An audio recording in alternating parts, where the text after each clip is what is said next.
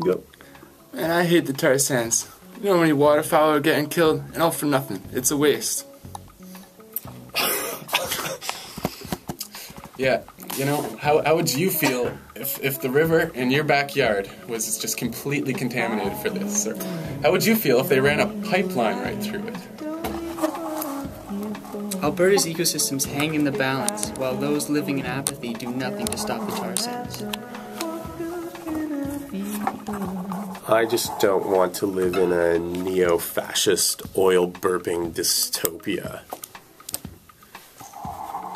What about you? No, I don't want to either. And Canadian oil isn't ethical. Just ask Fort Chipewyan. Man, I don't know, I don't know. I just know. I feel it in my bones, it doesn't feel right. None of this don't feel right for the animals, the people.